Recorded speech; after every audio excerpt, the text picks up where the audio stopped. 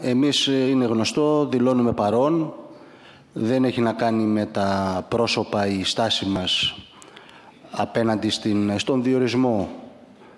ε, σε συγκεκριμένες θέσεις προέδρων, αντιπροέδρων, κατά συνέπεια και στην περίπτωση που συζητάμε τώρα για την ε, θέση του αντιπροέδρου στην Εθνική Επιτροπή Τηλεπικοινωνιών και Ταχυδρομείων. Αν και ο κύριος Βαρουτάς έχει θητεύσει και στην αρχή διασφάλιση απορρίτου επικοινωνιών,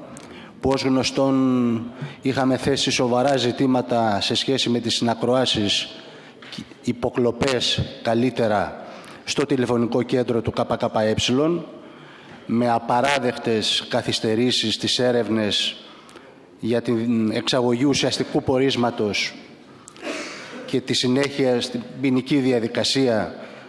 την αποκάλυψη και δίωξη όσων βρίσκονταν και βρίσκονται πίσω από τις λεγόμενες συνακροάσεις, δηλαδή τις υποκλοπές. Ένα το κρατούμενο, το κρατάμε αυτό το ζήτημα. Τα πρόσωπα, ένα, ένα γενικότερο ζήτημα, τα πρόσωπα που αναλαμβάνουν θέσεις κλειδιά πάντα βάζουν το δικό τους αποτύπωμα, κύριε Πρόεδρε, στην υλοποίηση της εκάστοτε κυβερνητικής πολιτικής. Το ίδιο βέβαια κάνουν και τα διάφορα θεσμικά όργανα, οι ανεξάρτητες αρχές, που μόνο ανεξάρτητες δεν είναι βέβαια, δηλαδή έρχονται να υλοποιήσουν την πολιτική της κυβέρνησης στα πλαίσια ενός ε, ευρύτερου οργανισμού όπως είναι η Ευρωπαϊκή Ένωση. Και το λέω αυτό διότι η Εθνική Επιτροπή Τηλεπικοινωνιών και Ταχυδρομείων έρχεται να υλοποιήσει μία δέσμη μέτρων για τις τηλεπικοινωνίες ως στρατηγική κατεύθυνση της Ευρωπαϊκής Ένωσης που, όπου η πρώτη δέσμη αφορά την οδηγία της Ευρωπαϊκής Ένωσης για τη θέσπιση του Ευρωπαϊκού Κώδικα Ηλεκτρονικών Επικοινωνιών που επιδιώκει την ενίσχυση της ανταγωνιστικότητας και της κερδοφορίας των ευρωπαϊκών μονοπωλίων στον τομέα των νέων τεχνολογιών για παράδειγμα πολύ υψηλής χωρητικότητας δίκτυα σταθερής και κινητής τηλεφωνίας και τα δίκτυα ευρωζωνικής υψηλής ταχύτητας, τα 5G. Και η δεύτερη αφορά την τροποποίηση του κανονισμού για την ίδρυση του Φορέα Ευρωπαϊκών Ρυθμιστικών Αρχών για τις ηλεκτρονικές επικοινωνίες που προωθεί τη δημιουργία ενιαίου οργανισμού της Ευρωπαϊκής Ένωσης για τις ηλεκτρονικές επικοινωνίες.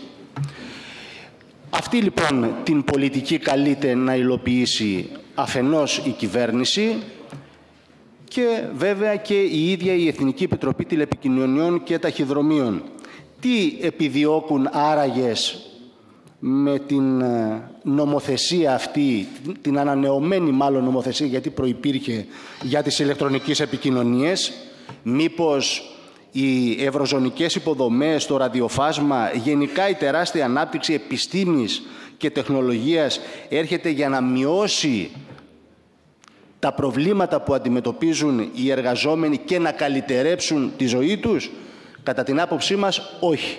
Το αντίθετο θα λέγαμε.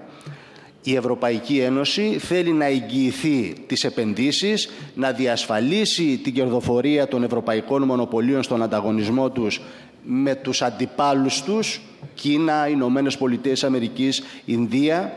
και γι' αυτό απελευθερώνει εντελώς την αγορά, ιδιωτικοποιεί ό,τι απέμεινε κρατικό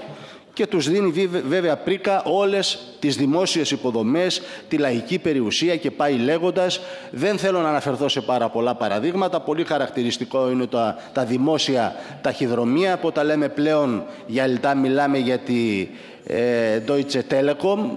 Επί αυτό είναι που αποτελεί ένα χρυσοφόρο τομέα για τους ε, ε, επιχειρηματικούς ομίλους με καταστροφικές αποφάσεις για το μέλλον που έχουν ληφθεί εδώ και πάρα πολλά χρόνια στην ενιαία εσωτερική αγορά όπου κυριαρχούν οι ιδιωτικές επιχειρήσεις ενώ οι δημόσιοι ταχυδρομικοί φορείς έχουν περιοριστεί σε ένα ρόλο φτωχού συγγενή. Το πραγματικό πρόβλημα λοιπόν για μας αφορά τους πολιτικούς και κοινωνικούς όρους ανάπτυξης της επικοινωνίας της ευρωζωνικότητας και ιδιαίτερα της ευρωζωνικής σύγκλησης μεταξύ τηλεπικοινωνιακών ομίλων και μέσων μαζικής ενημέρωσης με γνώμονα τη μέγιστη δυνατή ικανοποίηση των αναγκών του ανθρώπου σήμερα. Και από αυτή την άποψη νομίζω εδώ πιθανά να, να μην υπάρχει και διαφωνία, συγκρούονται δύο αντιλήψεις, δύο λογικές. Η πρώτη είναι αυτή που σας ανέφερα προηγουμένως, που προωθείται στα πλαίσια της στρατηγικής Ευρωπαϊκής Ένωσης και θεωρεί την επικοινωνία, την ενημέρωση, το ψηφιακό φάσμα, το, φάσμα, το ψηφιακό μέρισμα και το φάσμα των συχνοτήτων σαν εμπόρευμα και από την άλλη είναι, μια άλλη, είναι η στρατηγική, αυτή που λέει δηλαδή το Κομμουνιστικό Κόμμα Ελλάδας, η οποία θεωρεί σαν δημόσια αγαθά τα κοινωνικά δικαιώματα στην επικοινωνία, στην πληροφορία και στην ενημέρωση. Ε, αυτή η πρόταση, η διέξοδος σε πάση περιπτώσει από την πλευρά του ΚΚΕ ε, εστιάζει στις πολιτικές προϋποθέσεις για τη συνδυασμένη υλοποίησή τους που πριν απ' όλα προϋποθέτει κοινωνικοποίηση των μέσων παραγωγής, το κεντρικό σχεδιασμό, τον εργατικό έλεγχο που λέμε εμείς.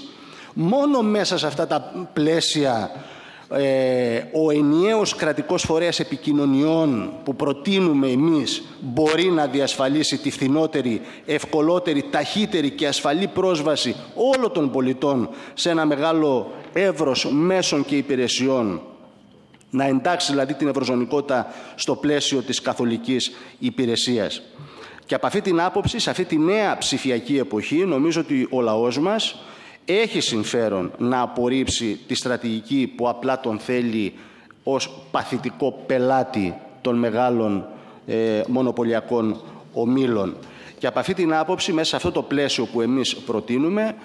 ε, και να κλείσω με αυτό κύριε Πρόεδρε, ε, θεωρούμε ότι μπορεί να διασφαλιστεί μια φθηνότερη, ευκολότερη, ταχύτερη, ασφαλή και καθολική πρόσβαση στην επικοινωνία, στη νέα γνώση, στην ενημέρωση και στην ψυχαγωγία μέσω του διαδικτύου, αξιοποίηση της κατασκευής σχετικών έργων υποδομής για να δοθεί όθηση στην εγχώρια βιομηχανική παραγωγή τηλεπικοινωνιακού υλικού, στην εγχώρια επιστημονική έρευνα και στην περιφερειακή ανάπτυξη. Ε, τρία, στην προστασία της δημόσιας υγείας και του περιβάλλοντος και στη διασφάλιση της εξοικονόμησης ενέργειας. Τέσσερα, στη διασφάλιση πλήρους και σταθερής εργασίας και αξιοποίηση της αύξησης της παραγωγικότητας για τη βελτίωση της κατάστασης των εργαζομένων του λαού μας γενικότερα. Ε, έκτον, την αξιοποίηση των δυνατοτήτων της ηλεκτρονικής διακυβέρνησης για την αναβάθμιση ε, του επιστημονικού κεντρικού ε, σχεδιασμού μιας τέτοιας οικονομίας και το καθορισμό φυσικά προτεραιοτήτων στην ανάπτυξη της τηλεκπαίδευσης και της τηλεϊατρικής, ώστε να διασφαλιστεί η συμπληρωματική συνεισφορά τους και όχι η αξιοποίησή τους για υποκατάσταση των υπολείπων αναγκαίων υποδομών σε απομακρυσμένες περιοχές της χώρας μας. Αυτές ε, λίγο πολύ είναι οι θέσεις που έχει το ΚΚΕ και γι' αυτό καταλήγει στη θέση του παρόν για τον κύριο Βαρουτά, επαναλαμβάνοντας ότι δεν αφορά τα πρόσωπα, αλλά την πολιτική που καλούνται κάθε φορά να υλοποιήσουν αυτά τα πρόσωπα ε, στα πλαίσια μιας ε, κυβερνητικής ε, πολιτικής και στρατηγικής, όπως είναι αυτή της σημερινής κυβέρνησης Νέας Δημοκρατίας. Ευχαριστώ.